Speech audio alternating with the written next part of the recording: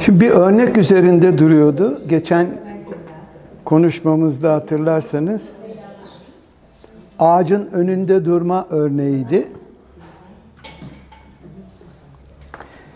Şöyle devam ediyor.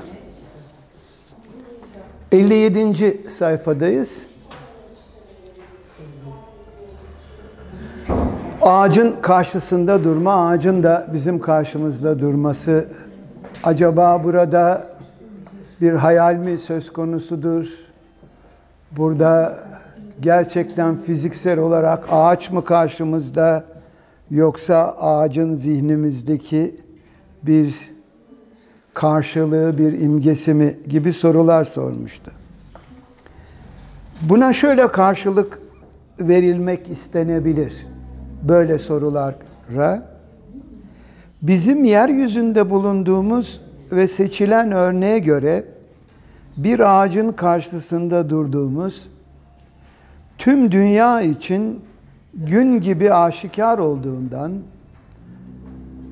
evet ağacın karşısında duruyoruz ve bizi herkes görüyor diyor. Gün gibi aşikar olduğundan dolayı herkesin hakkıyla hemen itiraf edebileceği bir hususa dair böylesi sorulara ne gerek var? Yani soru şu, sağduyuya uygun işte karşımızda ağaç var mı yok mu? Ağaç gerçek mi? Yoksa kafamızın içindeki bir düşünceden mi ibaret gibi sorular e, günlük hayatın akışı içinde çok da anlamlı gözükmüyor. Yani böyle sorulara ne gerek var diyebilirsiniz. Ancak biz bu itiraf ile fazla aceleci davranmayalım. Bir gün bugün gibi aşikar olanı fazla hafife almayalım. Bu gün gibi aşikar olanı Almancası Sonnenklar yani güneş açıklığı gün gibi aşikar olanı hafife almayalım. Çünkü felsefe de biraz buradan başlıyor. Yani apaçık olan, herkesin uygun gördüğü, ne var bunda dediği, herkesin üzerinde kolaylıkla ya çoğu insanın üzerinde kolaylıkla anlaşabileceği şeylerde asıl soru ve sorun. Onun için bu gün gibi aşikar olan bizi yani gün gibi apaçık olan, tanıdık olan, bilindik olan bizi aldatmasın. Burada fazla aceleci davranmayalım. Bu gün gibi aşikar olanı fazla hafife almayalım.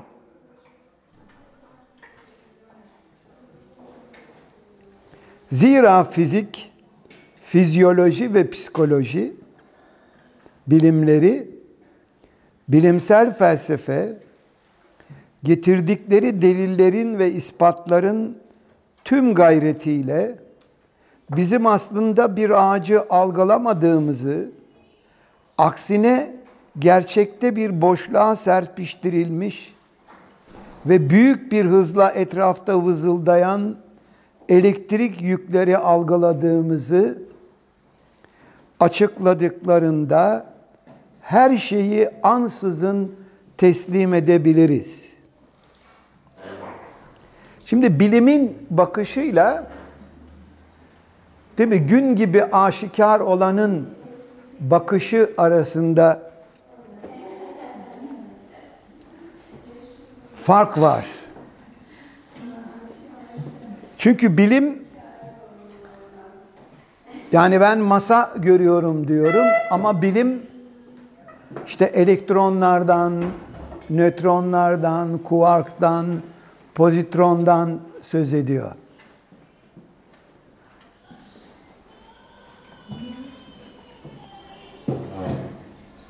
Ben ışık ışını gördüğümü söylüyorum.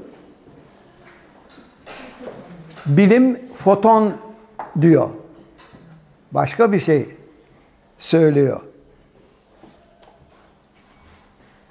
Elbette çiçek aç, açan bir ağacın karşısında durduğumuzu sadece adeta bilimsel gözetimde olmayan anlar için itiraf edip yani bilimsel olarak soruna bakmadığımız durumlarda hemen sonrasında da aynı doğallıkla bu görüşün ön bilimsel olması sebebiyle yani bu prescientifik bir şeydir. Bilimin ele almadığı bir şekilde ağacın karşısında duruyorum. Bunu çevirirken ön bilimsel diye çevirmiş. Bilim öncesi.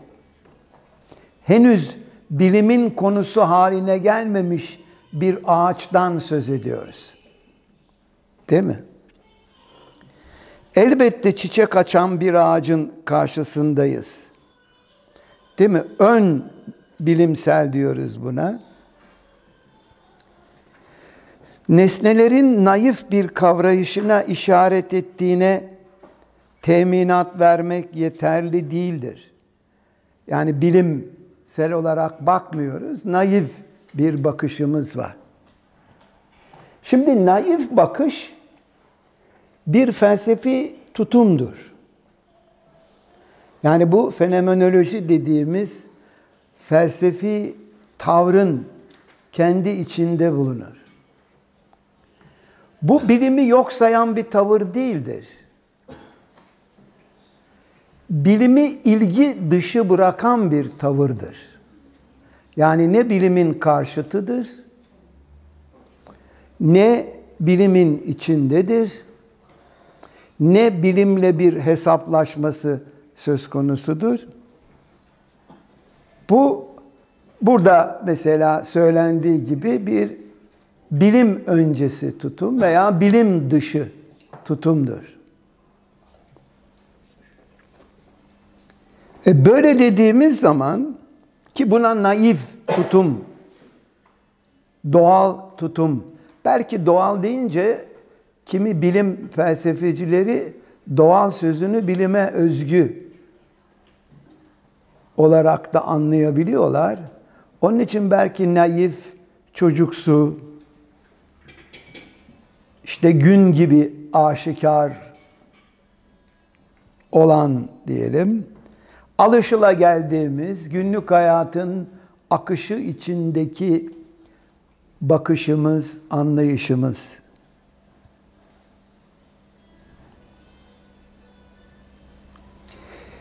Adı geçen bilimler aslında çiçek açan bir ağaçta neyin gerçek olarak geçerli olup neyin olmadığına dair hükmederler.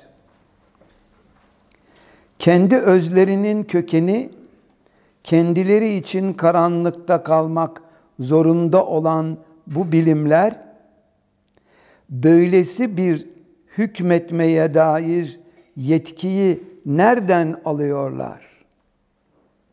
Tabi bu sözlerde müthiş bir kökten bir bakış farklılığı var. Bunu iyi anlamak lazım. Şimdi belki Heidegger'in dediği anlamda bu kadar köktenci, radikal bir bakış pek olmayabilir. Ama bu özellikle 20. yüzyılın başlarında bilimde yaşanan e, bunalımların da belki yol açtığı biçimde çünkü Newton fiziği çökmektedir. Yeni fizikler henüz tam oturmuş değil, tartışmalı. İşte kuantum mekaniği, Einstein'in görelilik kuramları, bu tartışmalar ışığında sosyal bilimler dediğimiz bilimler yavaş yavaş kendilerini gösteriyorlar. Psikoloji felsefeden ayrılmış, sosyoloji işte Auguste Comte'lardan bu yana 19. yüzyılın ortalarından itibaren e, psikoloji, e, sosyoloji, antropoloji, etnoloji, dil bilim, hatta edebiyat alanındaki çalışmalar, edebiyat ve sanat teorileri de yavaş yavaş farklı şekiller almaya başlıyorlar. Dolayısıyla burada Heidegger'in söylediği şu.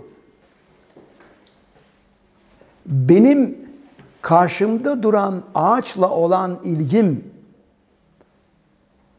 hakkında yani onu algılıyorsam, onun kokusunu duyuyorsam, e, görünüşünü görüyorsam,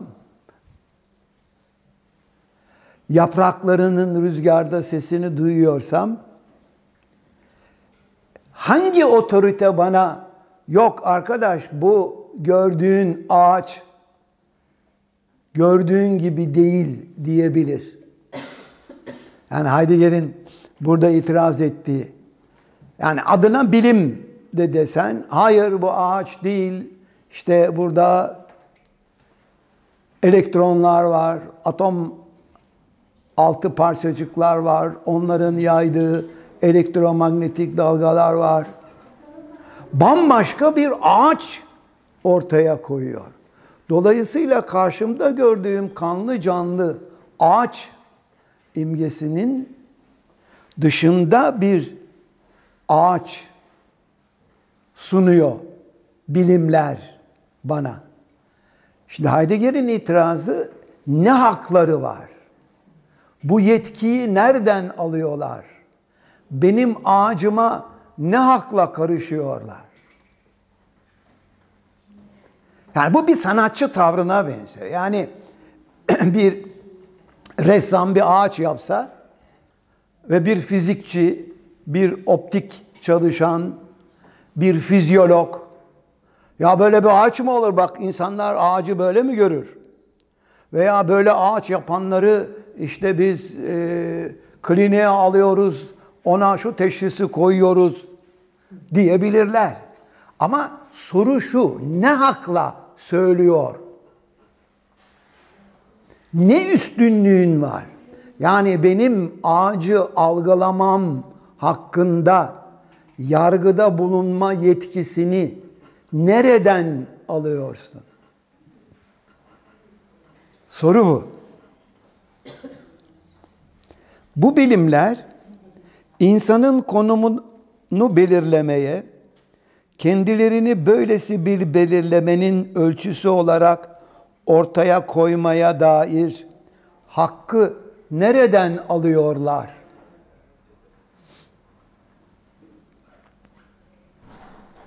Bu mesele akademik çevrelerde vardır. Tıpta da vardır. Mühendislikte vardır. Yani bir mesleğin alanı içine girdiğinizde orada otoritesiniz ve siz bir meslek sahibi nasıl görüyorsa değil mi onun doğru görüş olduğunu onun dışındaki sıradan insanın yanılabileceği. Felsefede de bu tip durumlar vardır. Yani caddedeki insan örneği falan verilirdi. Hala şimdi yeni metinlerde söz ediliyor mu bilmem ama ben öğrenciyken sıradan insan, caddedeki insan, günlük yaşam filan e, denilerek hatta ortak duygu, sağduyu veya ortak akıl denen şeyi küçümseme söz konusu idi.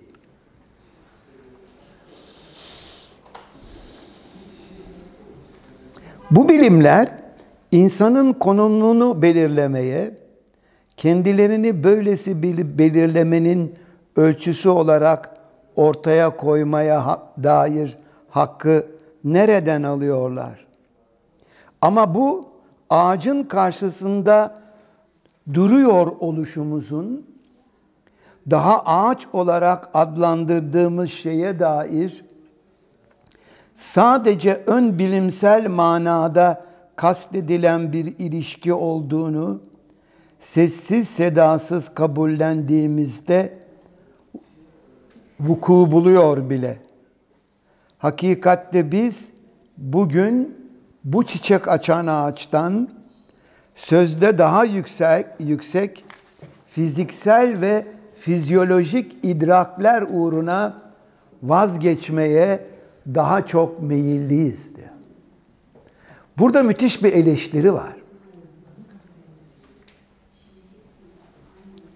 Yani gördüğümüzün arkasında teoriler vardır ve asıl olan onlardır. Dolayısıyla günlük hayatın akışı içerisinde gördüklerimizin gerçek görüntüler olmadığı. Dolayısıyla bir bilgi türü o şekilde gelişmiş ki bu günlük hayatın daha çocuksu ve kendiliğinden insanın algılamasını küçümseyen, değerli görmeyen bir bakış. Gel, buradan çıkamayız diyor. Yani neysek akıp giden hayatın içinde çiçek açan ağacı nasıl görüyorsak oradan başlamak gerekir.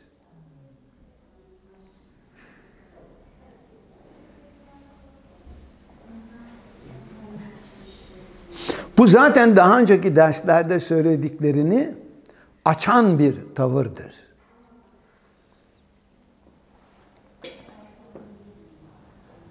Yani biz teoriden yola çıkmıyoruz.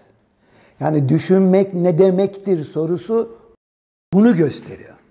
Yoksa ne bileyim psikolojinin birçok alanında, ne bileyim nörolojide,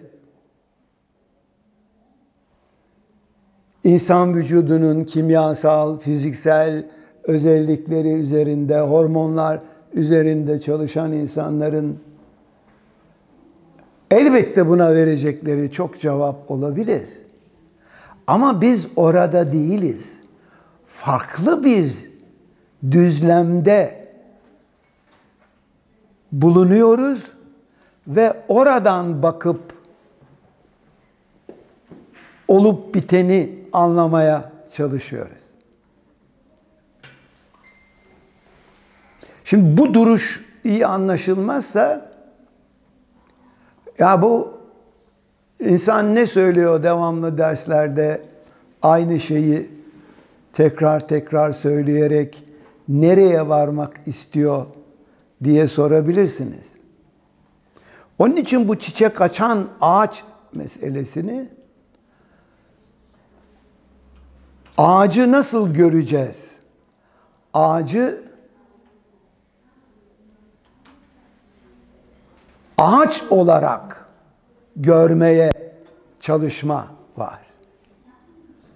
Yani bir kereste elde edeceğimiz, altında gölgesinde yatacağımız, değil mi? Ya bilimsel araştırmalarımızın konusu olan bu anlamda bir ağaç değil, çiçek açan ağaç. Çiçek açan bir ağacın kendisini bize takdim etmesiyle Şimdi siz ağaca ağacı kullanmak isteyen bir insan gibi bakarsanız ağaç size kendini takdim etmez. İşte bilimle olan problemi de o zaten.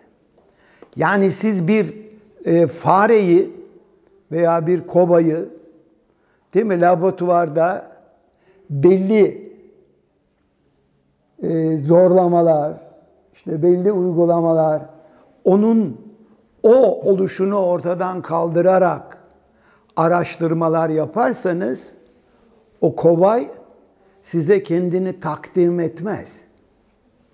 Ha siz onun üzerinden bir şeyler öğrenmeye çalışırsınız. Ama bilimde hep bir e, işte bir değişeni sabit tutup öbürünü değiştirme yani hep bir güç uygulama değil mi? E, dolayısıyla acaba şu kadar akım verirsek bunda ne gibi değişiklik olur? Onun o oluşuna bakmak yerine ona şu etkiyi yaparsak nasıl bir tepki alırız?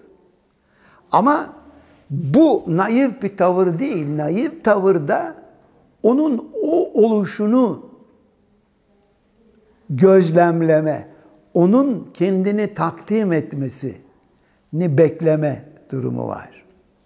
Bu tabi elbette bugün anladığımız bilimsel e, duruşa, tavra çok uygun gözükmüyor. Belki hayatın içinde de birçoğumuz böyle bir tavrı anlamakta zorlanabiliriz. Çünkü yaşamda kalma sürekli olarak çevreyi denetlemekle olanaklıdır. Yani hep kontrol. Hatta sorarlar değil mi insanlar birbirine bizim kuşak biraz öyleydi. Vaziyete hakim miyiz Hüseyin mesela? Değil mi? Yani vaziyete hakim olma. Mesela buraya geldiğimiz zaman insanlara şöyle bir bakıp işte hangisinden borç alınabilir? Kimle tanışırsam hangisinin kart vizitini alırsam nerede kullanabilirim? Nasıl lazım olabilir? Acaba satılık evi var mı? Onu ucuza kap- kapatıp daha pahalıya satsam. Hep denetim, hep kontrol. Zaten bu eski Yunan'ın tehne dediği şey de budur. Denetleme, yönetme. Yani tehnenin içinde yani bir çeşit üretim ham malzemeden işlenmiş malzeme çıkarma, ee, design, bugün design dediğimiz şey, bir şeyleri düzenleme. Bu bir tehne ama bir denetimdir aynı zamanda. Bu denetim tavrı insan insana ilişki, politik ilişkide de kendini büyük ölçüde gösteren bir tavırdır. Çünkü insanlar doğaya kullanılacak, sömürülecek işte dağ dağı dinlemiyorsunuz. Yani dağın kendini size takdim etmesini beklemiyorsunuz. O dağdan ne maden çıkar? Yani o dağdan e, amma mermer çıkarabiliriz ha. Veya bu dağın fena değil deniz de görüyor. İşte bu arsaları kapıp satarsak bakış çok farklı olmaya başladı. Yani yaşadığımız yaşam alanına uzama, mekana bakışımız, mekan düzenlemeye bakışımız, kentlere bakışımız, evlere bakışımız. Yani tehne kötü anlamda tehne odaklı bakmak, ele geçirme, kullanma, araç odaklı bakmanın böyle bir e, insanda oluşturduğu bir tavır dönüşümü var. İşte böyle bir tavırla düşünmek nedir'i anlama olana yok. Daha doğrusu böyle bir tavırla Heidegger'in kastettiği anlamda soruya yanıt verilemez. Ama bu soruya işte nörolojik açıdan düşünmek, sinir sistemimizde neler olup bitiyor, oradaki elektrik akımları, hormonların akışları, buralardan insan fiziko kimyasıyla, fizyo nörolojisi ile ilgili birçok şey söyleyebiliriz. Ama aranan o değildir. Biz bir manada kavramlara, kuramlara bulaşmamış bir dünyayı arıyoruz. Veya o kavramların bize öğretilen bilgilerin, malumatın altında kalmış dünyayı arıyoruz. Hani sonbaharda yapraklar dökülür, değil mi? Ve çok ağaçlık bir yerse toprağın üzeri kaplanır. Sadece yaprakları görürsünüz. Altta toprak var. Toprağı yitirmişiz. Onun için bir anlamda arkeoloji gerekiyor. Yani bir kazı o toprakları veya toprak sandığımız şeyin altında e, bulunan görülmeyi, kendini takdim etmeyi bekleyen ne ulaşmamız lazım?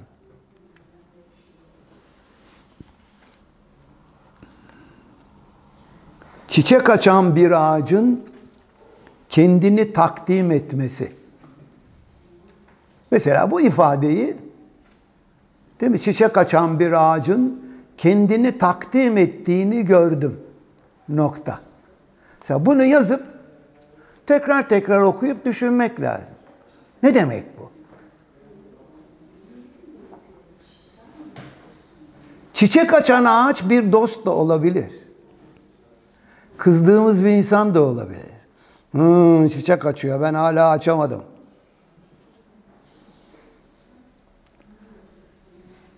Kendini takdim etmesi.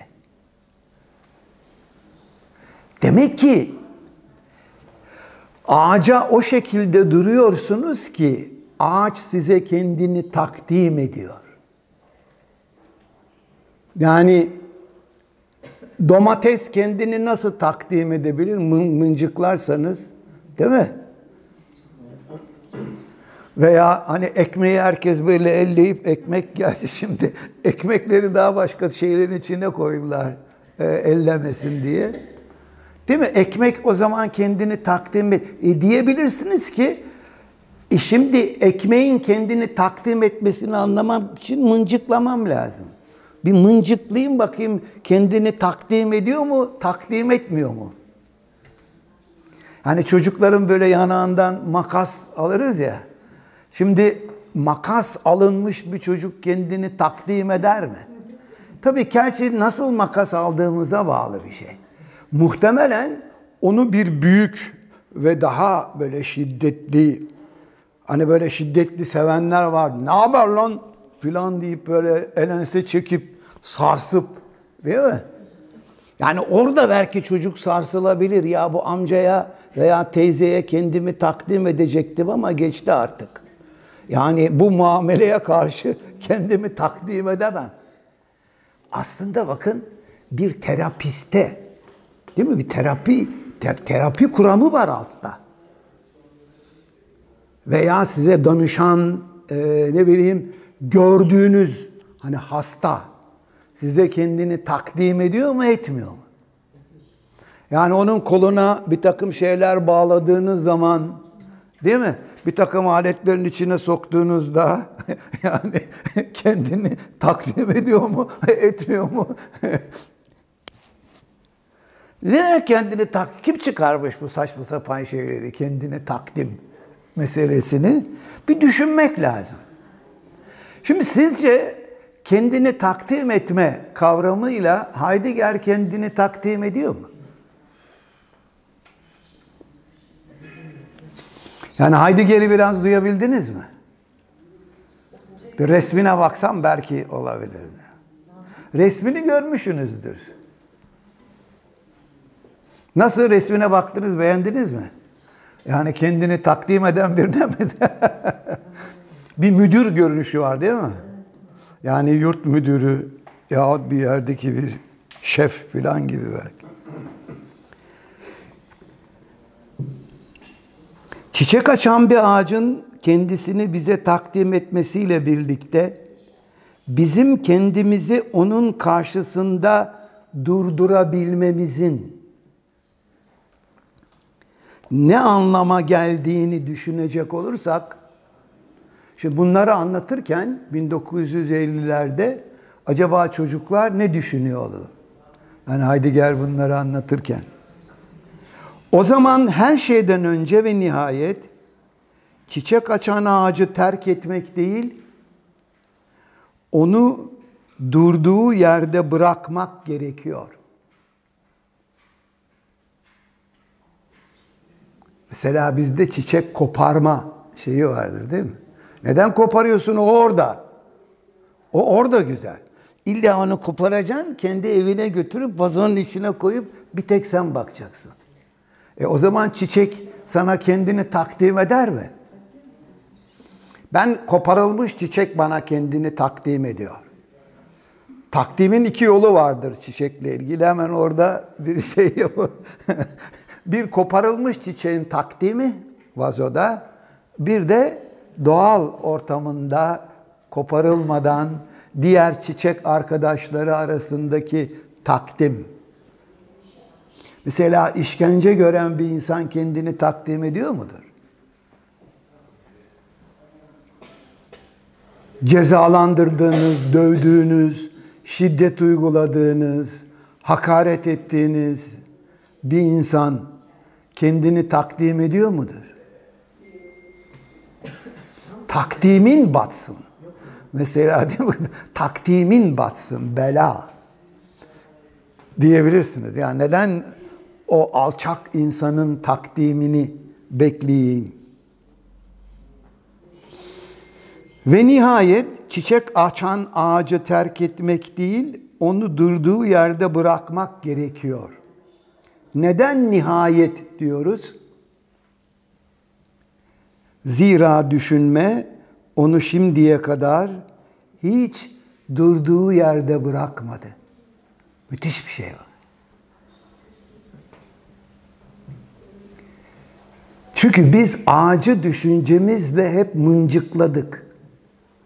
Hep aldık, taşıdık, başka yerlere götürdük.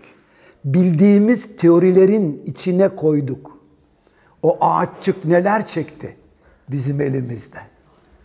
Ağacı orada bırakmayı bilemedik.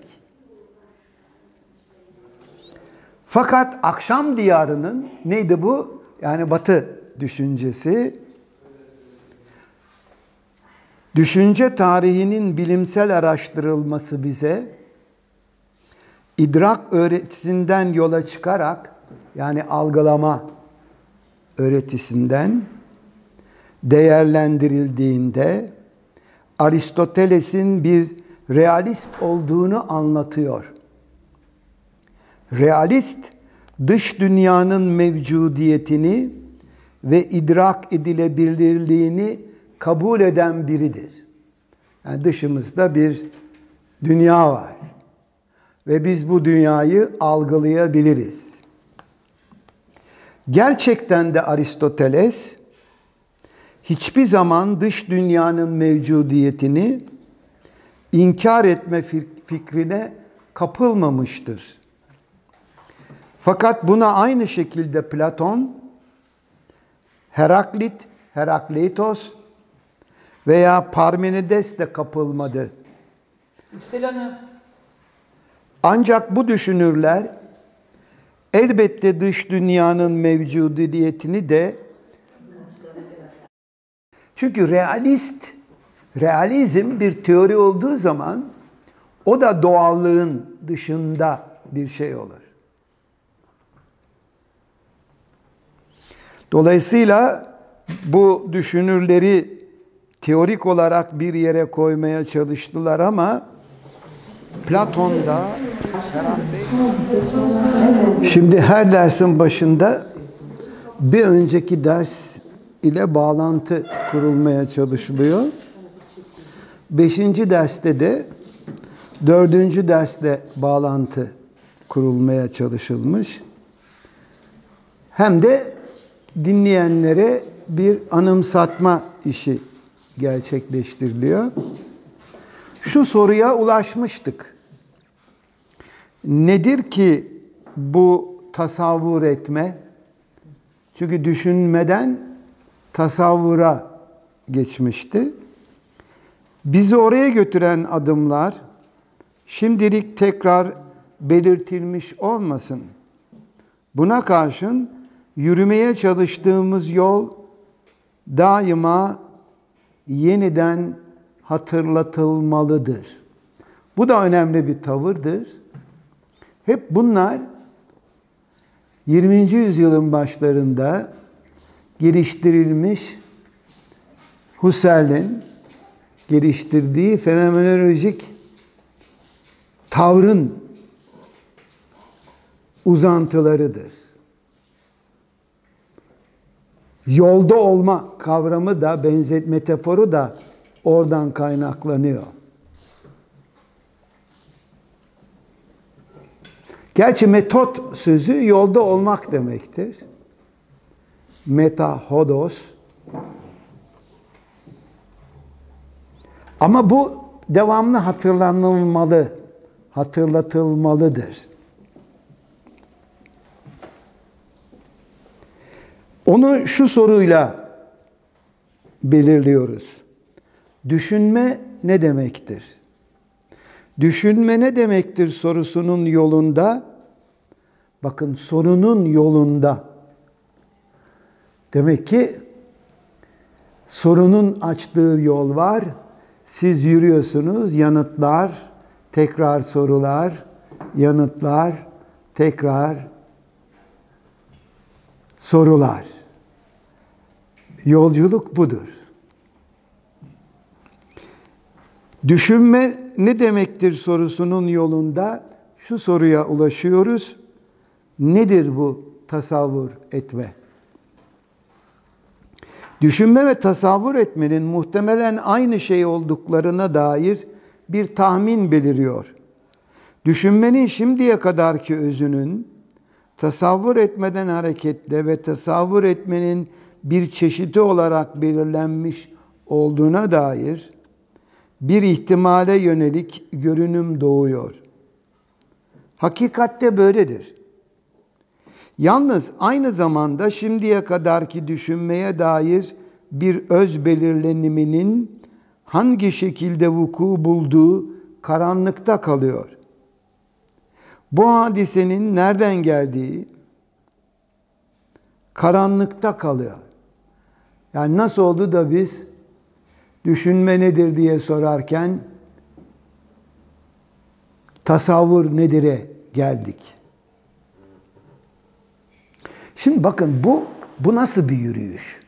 Bu önceden nereye yürüyeceğimizin belli olduğu bir yürüyüş değildir.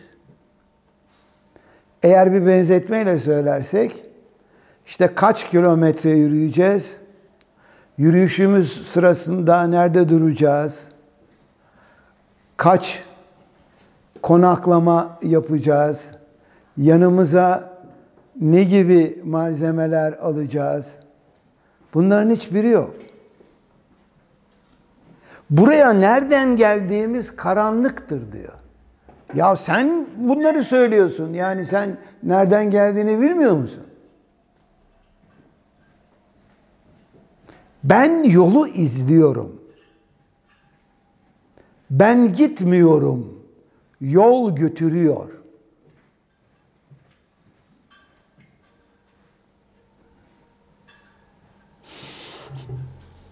Onun için şaşırtıcı yani bu tip e, bir bakışa veya anlayışa uzaksanız gerçekten şaşırabilirsiniz. Çünkü alıştığımız dünyada insanlar böyle düşünmüyorlardı onun için.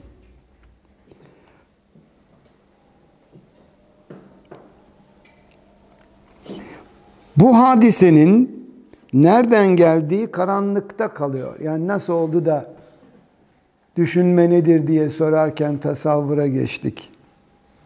Bunların bizim düşünmeyi öğrenme teşebbüsümüz için ne anlama geldiği tamamıyla karanlıkta kalıyor. Yürüyoruz ama yol bizi götürüyor. Yoksa her şey aydınlık, apaydınlık değil. Gerçi biri şöyle dediğinde onu dünyanın en açık meselesi gibi alıyor ve anlıyoruz. Ben meseleyi şöyle ve böyle düşünüyorum ve burada şunu kastediyor. Bu meseleyi şöyle ve böyle tasavvur ediyorum. Buradan açıkça görülüyor. Düşünme bir tasavvur etmedir. Yine de bu cümleyle adlandırılan tüm ilişkiler derin bir şekilde gölgede kalıyor. Temelde onlar bizim için henüz erişilmezler.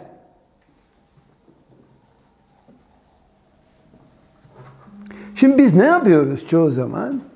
Eriştikten sonra konuşuyoruz. Yani öğretmensek bir yere erişiyoruz, buluyoruz. Her şey açık duruyor. Yol belli, trafik işaretleri belli, yol aydınlatma belli ve oradan yolu anlatıyoruz. Bu öyle bir yürüyüş değil. Karanlıklar içerisinde. Yani ne demiştik bunun için? Yol daima arkadadır. Yani yolun götürdüğü yere gidiyoruz ama yol önceden konmuş değil ki. Bir anlamda arkadaki yol bizi bir yere doğru, öne doğru arkadaki yol işaret ediyor ve o doğrultuda gitmeye çalışıyoruz. Eğer bir bataklığa, bir uçuruma veya yürünemeyecek sıklıkta bir ağaçlığa, çalılığa rastlarsak orada yolumuzu değiştirmemiz gerekebilir.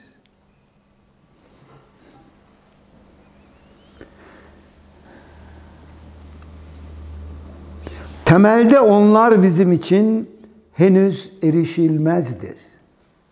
Yani düşünmenin, tasavvur etmenin cevabını bilmiyoruz.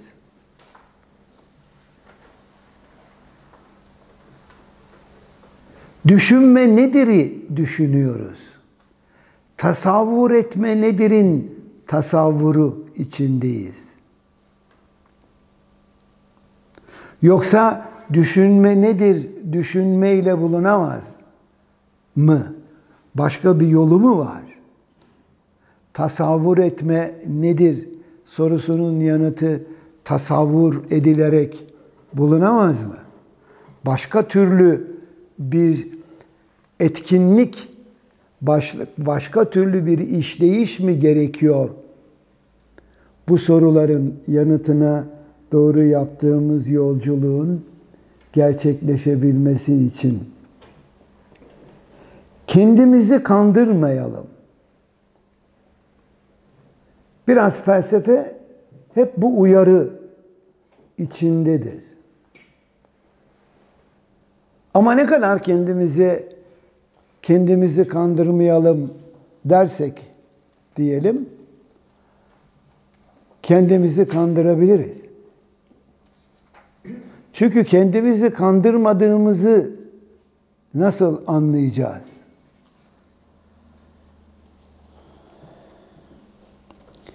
Düşünmenin özü, düşünmenin öz kaynağı, menşei, düşünmenin bu menşede, bu kaynakta kararlaştırılmış özel imkanları, tüm bunlar bize yabancıdır ve bizi her şeyden önce daima düşünmeye sevk eden şeylerdir.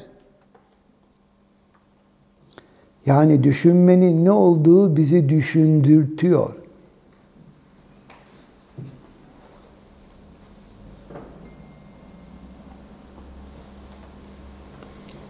Şu iddia hakikat olarak kaldığında bu bizi şaşırtmaz da düşündürücü çağımızda en düşündürücü olan bizim henüz düşünmüyor olmamızdır. Bu iddia aynı zamanda şunu söylüyor. Düşünmenin içinde, düşünmenin özüne doğru yoldayız. Biz yoldayız ve bu yollarda özü tasavvur etmede yatıyormuş ve bunda tükeniyormuş gibi görünen bu düşünmeden doğru geliyoruz. Görünen bir düşünmeden doğru geliyoruz. Kendi düşünme tarzımız hala düşünmenin şimdiye kadarki özünden yani tasavvur etmeden besleniyor. Ancak biz ben olsam tasavvur etmekten çünkü etmeden deyince tasavvur gerçekleştirmeden olumsuz bir çağrışım yapabiliyor. Ancak biz düşünmenin asıl ve bizden hala saklanan özüne ulaşmadığımız müddetçe düşünmüyoruz. Henüz düşünmenin asıl alanında değiliz. Ancak sadece bu geri çekime dikkat ettiğimizde ve mantık tarafından aptal yerine koyularak düşünmenin ne olduğunu çoktan biliyor olduğumuzda ısrar ettiğimizde yani mantık biliyorsam demek ki düşünüyorum. Yani teknik bilgiye sahipsen düşünüyorum. Ama mantık bizi aptallaştırıyor diyor. Çünkü bir algoritma bulup oradan gitmek istiyorsunuz. Düşünmenin asıl özü tam da kendini bir zamanlar geri çektiği yerde gösterilebilir.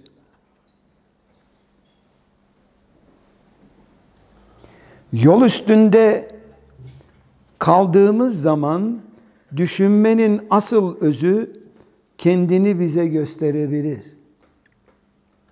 Yoldayız. Bu ne demek? Henüz yol üzerindeyiz.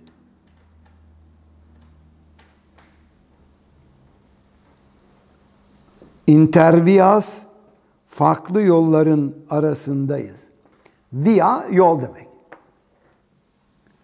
Yollar, farklı yollar var. Oradayız.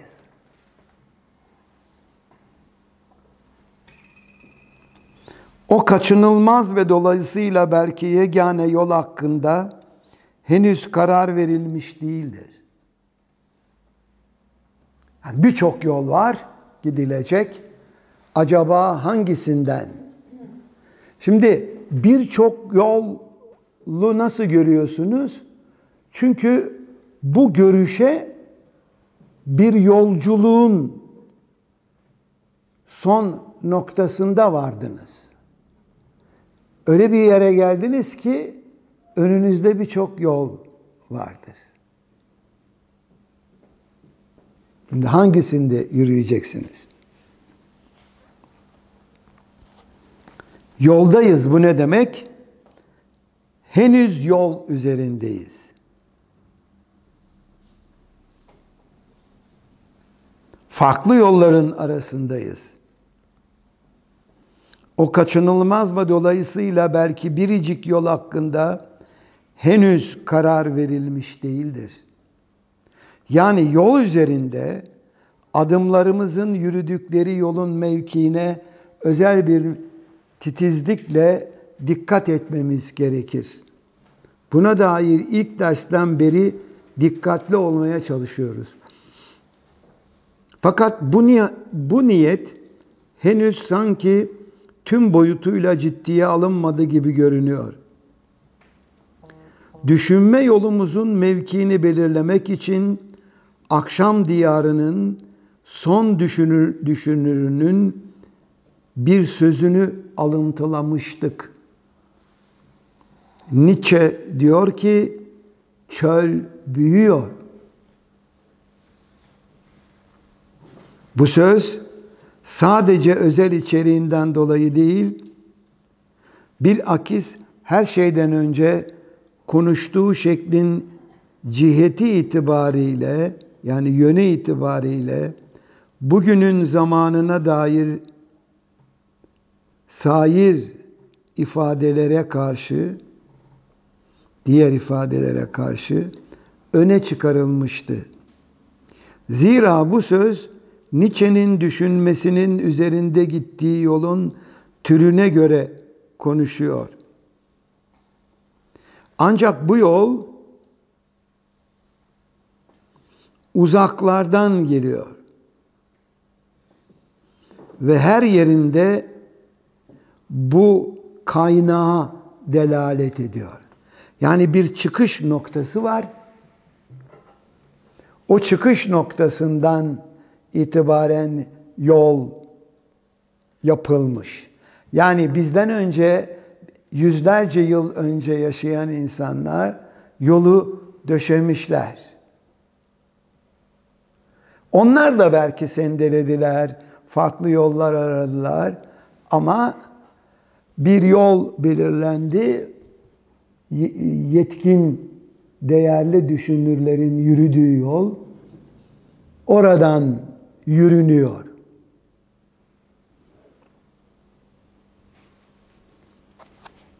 Bu yolun da son yolcuları olan Nietzsche. Nietzsche hangi bir düşünürde hiç olmadığı kadar yolunu ne kendi yapmıştır ne de kendi seçmiştir. O yoluna gönderilmiştir. Tabi bu dini çağrışımlar yapan, mistik çağrışımlar yapan bir ifadedir. Yalvaç mı Nietzsche? Yalvaç, evet. Yani yalvaç ne? Nebi. Yani nebi ne? Kitapsız peygamber. Gönderilmiştir. Ama yani böyle bir çağrışım var. Heidegger'in söyleyişlerinde e, dini, mistik çağrışımlar bulabilirsiniz. Ama bu sizi yanıltmasın. Farklı biri. Yani bir defa mistik olduğunu söyleye şu anlamda söyleyemeyiz. Yani işte Meissner Eckhart'tan etkilenmişti bir isteyen mistiği ama belli bir e, mistik yaşayışın veya belli o yaşayış topluluğunun içinde olan biri değildir. Yalnız bir insandır. Ormanda bir kulübesi vardır. Oralara gider, kışın orada kalır. Bahar da yolda yürür ve çiçek ağaç açan ağacın önünde durur.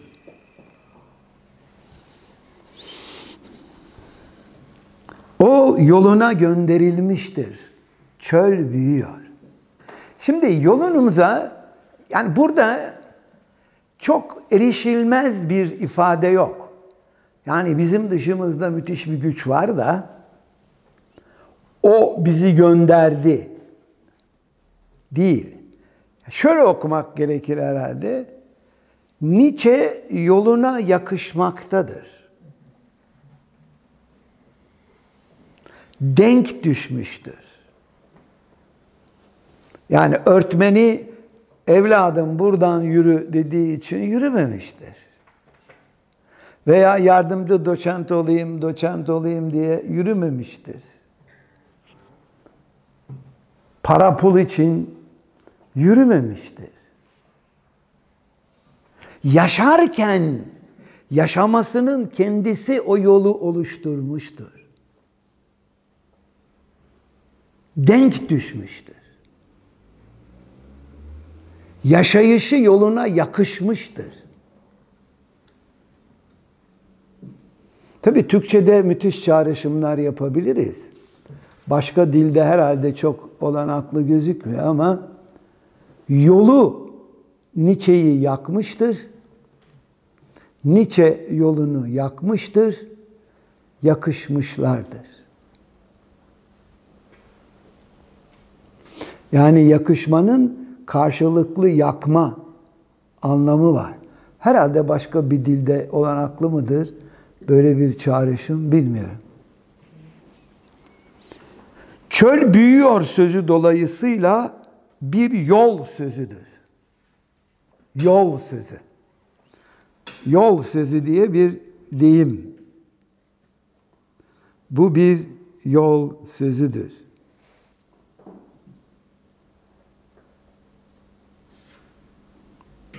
Bakayım neymiş?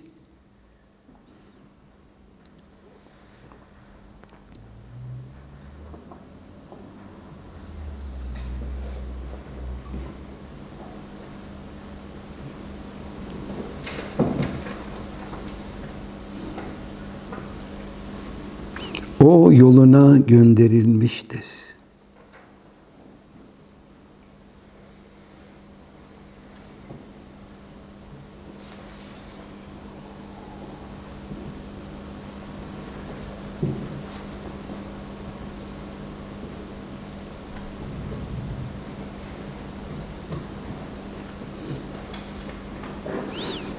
Her neyse şimdi şeye girmek istemiyorum. Fazla vakit kaybetmeyelim. Şunu kasteder. Bu bir yol sözdür ve şunu kasteder diyor.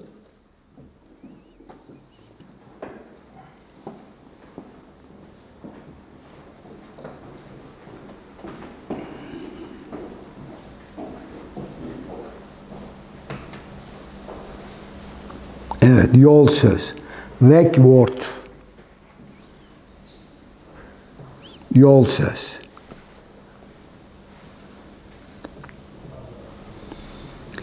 Bu sözün söylemi sadece bir yol bölümünü ve onun çevresini aydınlatmıyor. Söylemenin kendisi yolu bizzat şeritlendiriyor ve açıyor.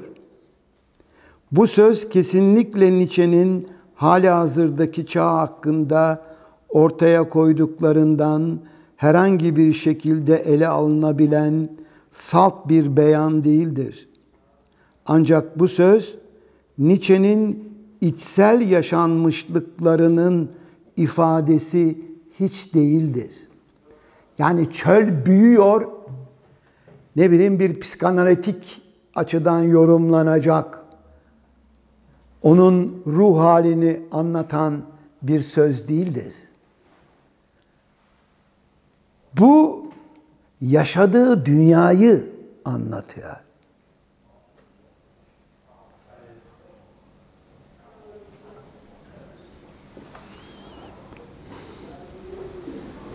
Daha eksiksiz konuşmak gerekirse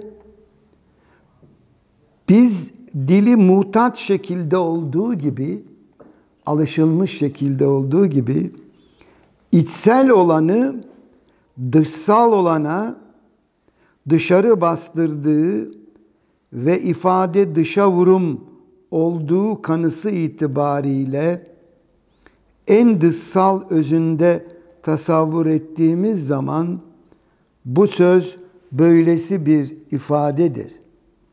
Hani ifade diye Türkçeleştirdiğimiz aslında ifade Türkçe değil ama söze dökme belki. Ama Batı kültüründe bu akşam ülkesinde nedir? Express dışa vurma. Ausdruck dışa vurma. İçteki bir şeyi dışa vurma. Biz mesela Türkçe'de dışa vurum Demiyoruz değil mi? İfade gibi bir şey diyoruz. O da bizde biz pek çağrışım yapmıyor sözcük olarak.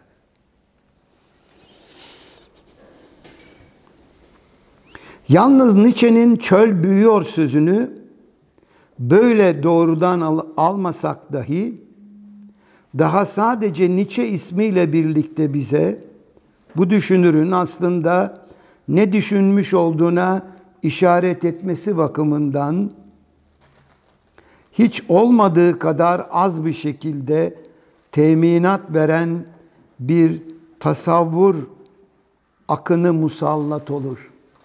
Yani Nietzsche'yi yorumlamada bir kafamızın içinde bazı tasavvurlar oluşur. Fakat şimdi çöl büyüyor. Bakın bu bir tasavvur. Çölün gitgide büyümesi. Sözü gidişatımızda özel bir ışığa getirilden, getirildiğinden dolayı yani bunun üzerinde odaklandığımız için ışık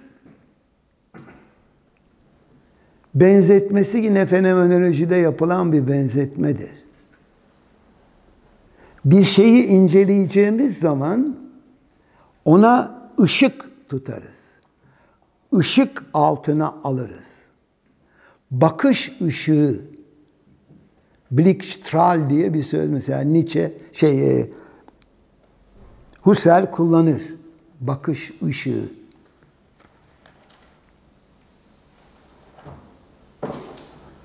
Yani sanki madencilerin hani kafalarının üstünde ışık vardır ya.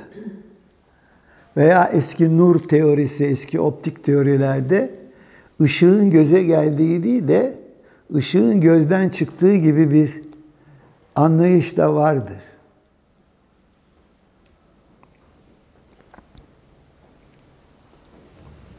Özel bir ışığa getirildiğinden dolayı Nietzsche ismi ise bilmezliğin ve yanlış yorumlamanın başlığı olma tehlikesinde olduğundan ve bu takririn yani bu yaptığım konuşmanın bu söze dair verdiği işaretlerin yanlış ve ön yargılara yol açmasından dolayı daha sonra gelecek olan şeylerden bazısı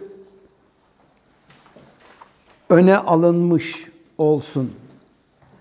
Ancak takririn yani dersin verdiğimizde yapacağımız dersin gidişatını karıştırmamak için bir işaretle yetiniyoruz.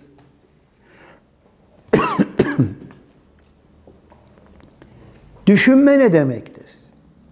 Beşinci ders. Kendimizi bu soru için hızlıca formül biçiminde bir cevabı kapmanın kör hırsından sakınmalıyız. Bakın bu da bir tutum işte. Hemen cevap bulmanın kör hırsından sakınmalıyız diyor. Hani kim söyleyecek, kim söyleyecek deyince öğretmen değil mi herkes? Ben söyleyeceğim. İlk defa ben söyledim. Soruda kalalım. Bu da güzel bir deyim. Değil mi? İşte felsefi bir tutumdur. Patladak cevaba geç. Bir dakika soruda kalalım. Soruda kalalım yavaş yavaş. Telaşa lüzum yok. Bir daha bakalım. Soruda kalalım. Güzel bir söz değil mi? Televizyonda falan yarışmalarda mesela dikkatine döndü. Bende kal, bende kal. Özellikle Ama o başka bir şey. O başka bir şey tabii.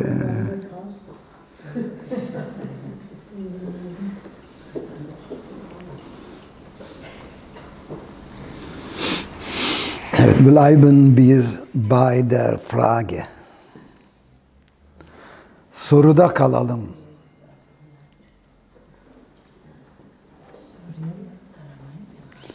Sorunun soruş tarzına dikkat edelim. Şimdi bakın, Bu şeylerden, konuşmalardan, Heidegger'in bu derslerinden kafamız karışsa bir sonuca varmasak dahi bir tavır seyrediyoruz değil mi? Hani öğreniyoruz dememek için. Farklı bir şey var burada. Soruda kalalım ve ne diyor? Soruş tarzına dikkat edelim. Demek ki tarz önemli.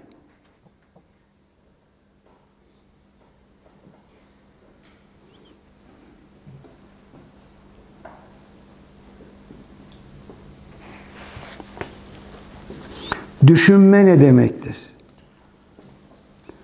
Anne eve gelmek istemeyen oğluna bekle sana itaat etmenin ne demek olduğunu öğreteceğim diye sesleniyor.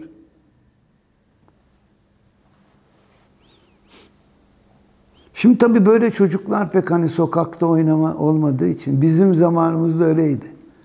Yani akşam olur anneler devamlı çağırır gitmek eve gitmek istemiyorsun. Çünkü sokak da müthiş bir özgürlük olduğu düşünülüyor. Şimdi sokak kalmadı tabii. Yani bazı yerlerde vardır belki. Arsalar vardı evler arasında ve oynardın orada. Müthiş güzel bir bence ortamdı.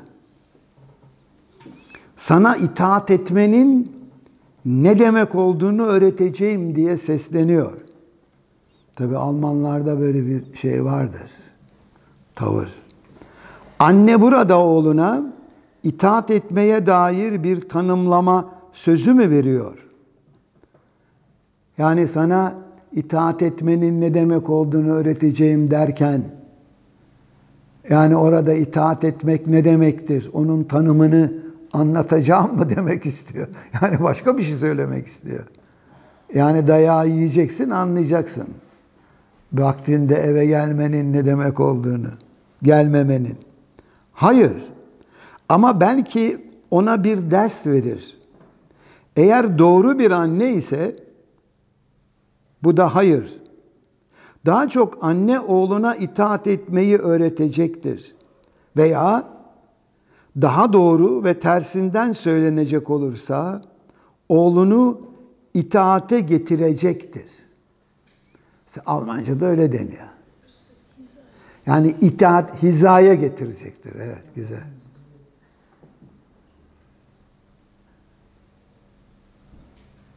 Yani itaat diye bir şey var, eylem var. Oraya gel evladım itaate diyecektir. Oraya getirecektir. Bunda anne oğlunu ne kadar nadiren azarlarsa o kadar başarılı olur. Yani bu da Heidegger'in pedagoji vaazı oluyor herhalde. Fazla azarlamasın diye. Anne oğlunun ne kadar dolaysız biçimde dinlemesini sağlarsa işte bu çiçek açan ağaca bakmayla ilgili bir şey. Çiçek açan ağaca bak eşek deyip ensesine bir tokat vurup bak ağaç kendini takdim ediyor görmüyor musun?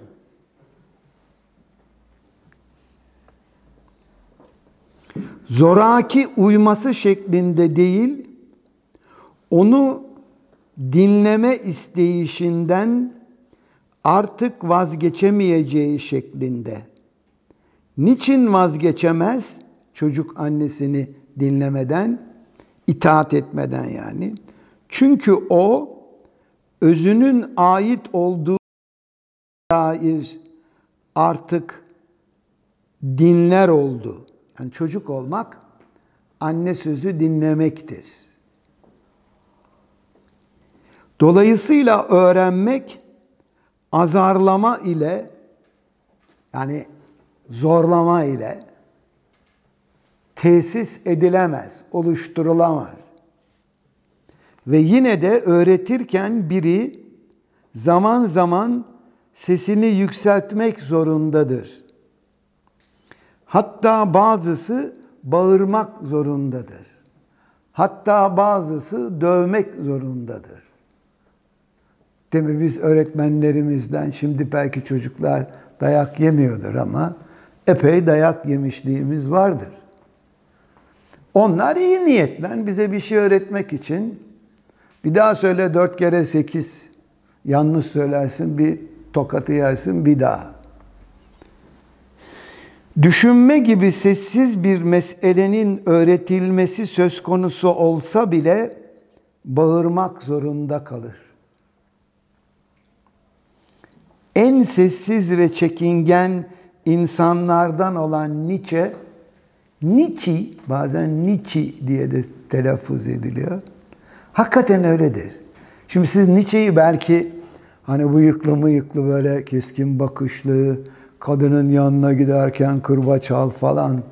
Öyle biri değil. Son derece mahcup, yumuşak sesle konuşan, çekingen biriydi. İnce, nazik. Biz tabi eski anlamıyla efendi, efendiden biriydi. En sessiz ve çekingen insanlardan olan Nietzsche bile bu gereksinimden haberdardı. Bağırmak zorunda olmanın ızdırabını çekiyordu. Düşüncelerini anlatmak için dinlemiyorlar. Dünya kamuoyunun henüz dünya savaşlarından habersiz olduğu ve terakkiye dair yani ilerlemeye, progrese dair inancın medeni halk ve devletlerin neredeyse dini olduğu bir on yılda Nietzsche çığlık attı. Yani Nietzsche gibi yumuşak biri. Çöl büyüyor. İşte Behçet Necatigil'in öyle bir şiirinde vardır. Değil mi? Ne diyordu? Çok çiğ çağ. Yani bu çağ çok çiğ çağ. Böyle ç seslerini vurgulayarak anlatıyor ki ne kadar çiğ olduğu çıksın. Bu çağ çok çiğ çağ. Bununla birlikte insanlara ve en başta bizzat kendine sordu. Gözleriyle işitebilmeleri için önce kulaklarının mı patlatılması lazım? Evet bu Nietzsche'nin sözü. Gözleriyle işitebilmeleri için. Yani ne? Bütün duyu organları ve bedeninizin ve çevrenizin ve aklınızın tümüyle duyacaksınız. Yani gözlerinizle işiteceksiniz, kulağınızla göreceksiniz. Parmaklarınızla koklayacaksınız. Davul çalar gibi ve kefaret vaizleri misali takırdamak mı gerekiyor? Böyle buyurdu Zerdüşt'te söylemiş. Fakat bilmece üzerine bilmece. İlk başta çığlık olan çöl büyüyor sözü, gevezelik olma tehlikesiyle karşı karşıyadır. Bu tersine dönüşün tehdidi bizi düşündüren şeye aittir. Tehdit eden belki en düşünülmüş olanın bugün ve yarın bilhassa bir gecede artık sadece bir deyim olması, bir söz olması yani ve deyim şeklinde yayılıp dolaşmasında yatıyor. Deyim değil de değiş bir söz haline geldi yani. Böylesi konuşma günümüzün dünya ahvalini ahval ne demek? Haller. Halin çoğulu ahval. Dünya ahvalini gözden kaçmaz şekilde tanımlamakla meşguldür. Bunlar özü itibariyle tarif edilemez olanı tarif ediyorlar. Zira o sadece çağrının bir çeşidi ve dolayısıyla bakın çağrı da dini bir söylemdir. Mesela Hz. İsa ile ilgili hikayelerde filan. Çağrı. Hristiyani bir kavram. Belki Yahudilikte de vardır. Zira o sadece çağrının yani bir davet, bir şey sizi çağırıyor. Beni düşün, beni düşün diye varlık, var olanlar sizi çağırıyorlar. Hayat sizi çağırıyor. Aynada ancak görebildiğiniz kendiniz sizi çağırıyor. Beni düşün.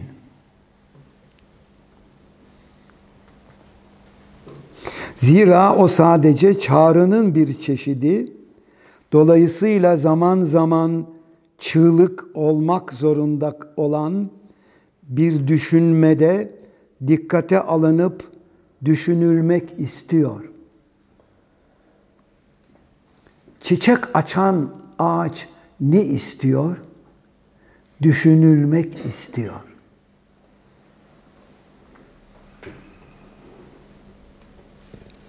Çığlık yazılı olanda pek kolay boğulur. Bu da Yunani bir şeydir. Değil mi? Kadim kültürlerde yazılı olana karşı bir uzaklık vardır. Eğer yazmak sadece tanımlamakla, tabi tanımlama kötü çevirmiş. Beschreiben tasvir etme. Betimleme. Tanımlama başka bir şey. Mantık açısından düşünürsek. Sadece tarif etmekle yetinir, tanımlama, e, betimlemekle yetinir ve tasavvur etmeyi, meşgul etmeyi ve ona daima yeniden yeterli malzeme göndermeyi hedefliyorsa tamamıyla boğulur. Yazılı olandan söz ediyor. Eğer yazmak yazılmış olanın kendisinde dahi düşünmenin bir yürüyüşü olmaya, bir yolu olarak kalmaya muktedir değilse, düşünülmüş olan, yazılmış olan da kaybolur. Tabi bunlar çok ağır sözler. Yani açılması gereken, daha doğrusu yoğun sözlerdir. Yıllar sonra mesela Derrida muhtemelen bunlardan etkilenmiş. Bu görüşleri veya postmodernist, frankofon, Anglo-Amerikan düşünürler bu betimlemeleri açmaya çalışacaklardır. Onun için bakın düşünmenin bu tip düşünceler ileri sürmenin, düşünceler dışa vurmanın zamanı yoktur. Yani ne zaman, nasıl insanları etkileyecek bilemezsiniz. Hemen etkilemezse işte boşa gitti filan dememek lazım. 60, 70, 100 yıl sonra birisi bunları bulup farklı biçimde yorumlayarak yaşadığı hayatı etkili biçimde yorumlayabilir. Ama işte yazılı olma kalmayı sağladığı için bir önemi var hakikaten. Çünkü bunlar yazılmamış olsaydı o dinleyenlerin belleğinde kalacak, muhtemelen kaybolup gidecekti. Yani yazılmış olmanın bir, bir tespit etme söz konusudur.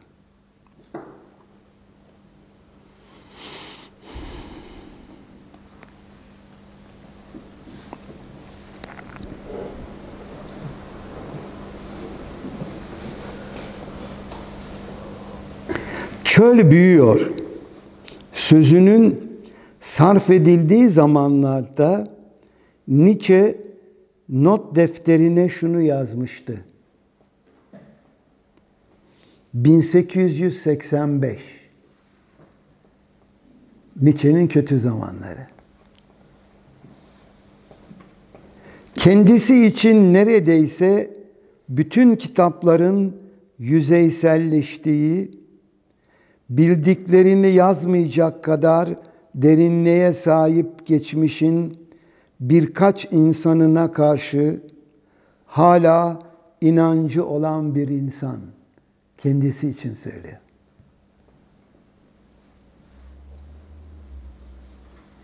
Yani benim için artık bütün yazılan kitaplar yüzeyseldir. Birkaç kişi var. Onların yüzü suyu hürmetine yaşıyorum yani. Fakat Nietzsche çığlık atmak zorundaydı. Ve ona bunun için yazmaktan başka bir yol kalmamıştı. Yani şimdiki gibi YouTube'a çıkıp da değil mi? Bizim yaptığımız gibi YouTube'da çığlık atma hani artık bu değil mi sosyal medyanın bu kadar yoğunlaştığı müthiş bir gürültünün olduğu ve dolayısıyla düşüncelerinizin kolayca gürültüye gideceği bir ortamda çığlık çok bir şey ifade etmiyor çünkü her yerden çığlık sesleri geliyor. E, kimin çığlığı has bir çığlıktır hayata dair? Kimin canı yandığı için, ayağına basıldığı için belli bir ameliyat ortamından geçtiği için midesi ağrıdığı için çığlık attığını bilmiyorsunuz. Hangi çığlık has bir çığlıktır? Çölün büyüdüğünü görmekten kaynaklanan halis insanca bir çığlıktır. Böyle buyurdu Zerdüşt. Düşünmenin yazılı çığlığı. Dördüncü bölümde böyle buyurdu Zerdüşt. Fakat sadece dar bir arkadaş çevresi içinde basıldı yazdıkları. Nietzsche'nin bu eseri düşünürün yegane düşüncesini düşünüyor. Bakın eseri eseri yazanın düşüncesini düşünüyor. Yani bir kitap yazıyorsunuz, düşüncelerinizi ifade eden. Diyorsunuz ki bu kitap benim düşüncelerimi düşünüyor. Yani Türkçe'de böyle demiyoruz tabii. Aynının ebedi geri dönüşü düşüncesi.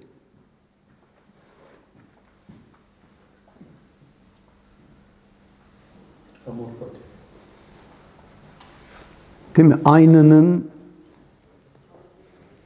ebedi geri dönüş düşüncesi.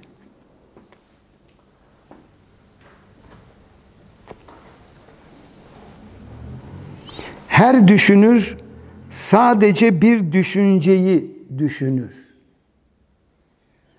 Yani birçok düşünce var belki ama hepsi bir arada tek bir düşüncedir düşünür için diyor.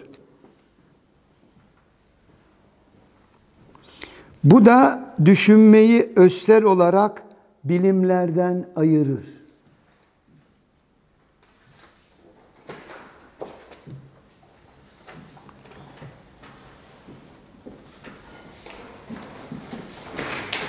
Araştırmacı daima yeni keşif ve ilhamlara ihtiyaç duyar. Yoksa bilim duraksamaya ve yanlışa düşer. Bilim sürekli olarak kendini bu anlamda hep yeninin ardına düşmekle geliştirir. Düşünürse sadece bir düşünceye muhtaçtır. Ve bir düşünür için zor olan bu yegane düşünceyi sadece kendisi için düşünülmesi gereken olarak sabit tutmaktır.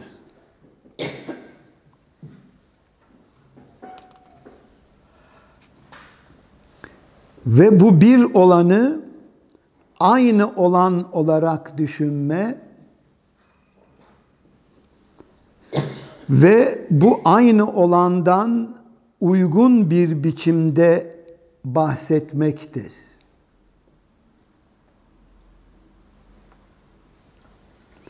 Bakın felsefi tavrı da çıkıyor. Yani bir düşünürseniz kendinize yakışan biricik düşünceyi yakalamanız ve onu geliştirmeniz gerekir diyor. Ancak aynı olandan sadece onun hakkında hep aynı şeyi söylememize ve hem de bu esnada aynı olan tarafından bizzat kendimiz talep edilmemiz durumunda uygun biçimde bahsetmiş oluruz. Şimdi bu ilk bakışta tuhaf anlaşılmaz gibi bir söz ama daha önceki derste de bugün biraz değindik. Söz ettiği Nietzsche o yola gönderilmiştir demişti ya. İşte burada da onu söylüyor. Yani bir düşünce var.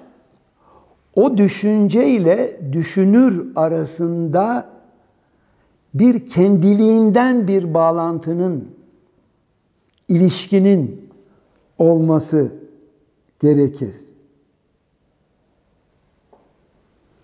Yani düşünce ile düşünür birbirlerine yakışacaklar. Yani yaşayışının, algılayışının, duruşunun, duygulanışının, insanlarla ilişkinin o düşüncede kendini göstermesi, o düşüncenin de bütün bu söylediklerime uygun olması gerekiyor. Yani biz ne diyoruz biraz argo ama cuk oturması lazım. Yani düşünceyle düşünürün birbirine. Öyle bizim halk şeyleri vardır, destanlar, türküler filan. İşte arı bala bilmem kuş ağaca ne güzel uymuş. Böyle sayar sayar da Ozan şu şuna, şu şuna, şu şuna ne güzel uyumuş. Bu uyum önemli bir şey. Ben tabi uyum demeyeyim de yakışma, harmonia bir çeşit, ahenk. Dolayısıyla aynı olanın sınırsızlığı yani çünkü hep o kalacak ki onun üzerinde düşünmeyi sürdüreceksiniz. Ama hep o bitmiş bir şey değil. Sonsuz o. Onu yakalayacaksınız ve or, onun sonsuzluğu üzerinde düşüneceksiniz. Aynı olanın sınırsızlığı düşünme için en keskin sınırdır. Yani oradan oraya dans ediyorsanız bugün böyle, yarın öyle, öbürsü gün başka Bu, bu düşünme böyle bir şey değildir diyor. Düşünür olan Nietzsche, düşünmenin bu gizli uygunluğuna, böyle buyurdu Zerdüşt eserine şu alt başlığı vererek işaret ediyor. Hakikaten böyle buyurdu Zerdüşt ya böyle söyledi Zerdüşt tüm alt başlığı herkes ve hiç kimse için bir kitap diyor. Herkes için şu değildir. Gelişi güzel olarak herkes için. Herkes için insan olarak her insan için. Kendisi kendine kendi özünde düşünmeye değer olduğu surette herkes için anlamındadır. Kendi özünüz, kendi özünüzde düşünceyi bulacaksınız. Mesela Yunus da çok kullanır. Kendi özüm. Kendi özünde bulacaksınız. Ve hiç kimse için yani bu kitabın düşünmesinin yoluna koyulmak ve böylece her şeyden önce kendisinin kendisine sormaya değer olması yerine bu kitabın parça ve cümleleriyle sadece kendini sarhoş eden ve körü körüne onun dili içinde sağa sola sallanan ve her yerde mevcut insanlardan hiçbiri için. Eğer böyle bir insansanız sizin için değil diyor. Böyle buyurdu Zerdüşt, herkes ve hiç kimse için bir kitap. Yayımlanışından beri geçen 70 yılda eserin bu alt başlığı nasıl da ürkütücü bir biçimde kendini doğruladı. Fakat tam da aksi yönündeki manasıyla herkes için bir kitap oldu ve bu kitabın temel düşüncesine ve maalesef öyle oldu. Herkes tırnak içinde Nietzsche okuyor. Halbuki bu kitap hiç kimse için. Yani alelade işte bir de Nietzsche okuyayım yahu diye okunması durumunda herkes için bir kitap oldu ve bu kitabın temel düşüncesine ve onun karanlığına yetkin olan hiçbir düşünür görünmüyor. Yani onun karanlığını da yürüyebilecek güçte bir düşünür görünmüyor. Bunu 1950'lerde söyledi. Nietzsche ondan sonra yani 2. Dünya Savaşı'ndan sonra 60'lar, 70'ler, 80'ler giderek etkisi arttı. Ve şimdi postmodern düşünce dediğimiz 1940'lardan 50'lerden sonra giderek güçlenen düşüncenin öncüllerinden biri olarak Nietzsche gösterilir. Ki yanlıştır bence. Herkes için Nietzsche olursa böyle bir duruma gelebilir diyor.